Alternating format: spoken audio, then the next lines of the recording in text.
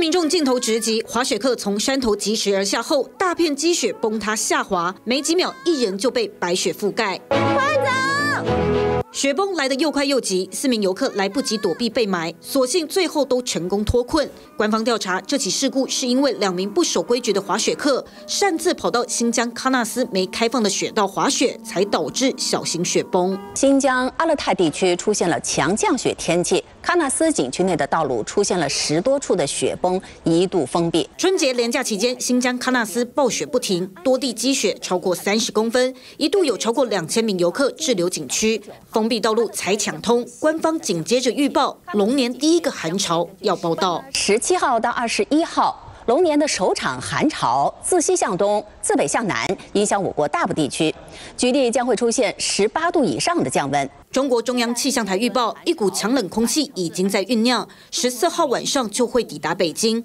大部分地区已经逐渐降温，不排除剧烈降温、大风、雨雪、冻雨都会发生，时间点刚好会落在春运返程，对交通运输是一大挑战。台湾中央气象署也公告，二月十五号周四初六晚上到十六号，受到封面通过东北季风增强影响，北台湾转凉，白天气温降幅可以达到八到九度。开工后隔周可能遭遇下一波较强冷空气。TVBS 新闻张家宝、林明珍综合报道。想看最完整的新闻内容，记得下载 TVBS 新闻网 APP。